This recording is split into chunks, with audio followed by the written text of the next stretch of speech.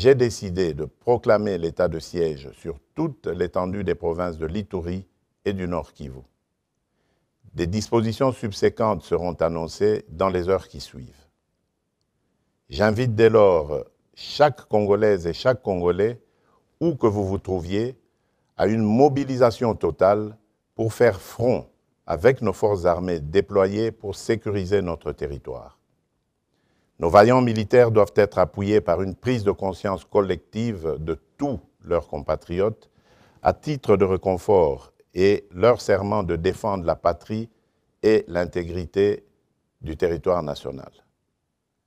À cet effet, j'exhorte le peuple congolais tout entier à adopter pendant cette période une attitude responsable à tous égards. Ainsi donc, je recommande plus particulièrement au gouvernement de la République de ne ménager aucun effort pour assurer la logistique nécessaire aux forces armées déployées au front. À la classe politique tout entière de ne mener aucune action de nature à saboter ni à décourager nos forces armées.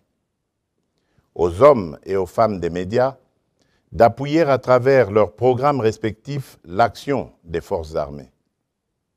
Aux populations locales de coopérer étroitement avec les autorités militaires déployées en dénonçant les ennemis du peuple et toute complicité à quelque niveau que ce soit.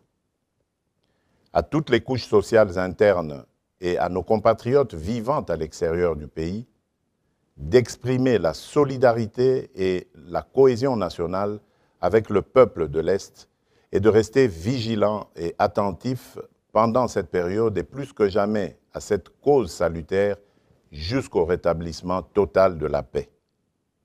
À la société civile de se mobiliser derrière nos forces armées et enfin aux servantes et serviteurs de Dieu de prier pour la nation et pour nos forces armées au front.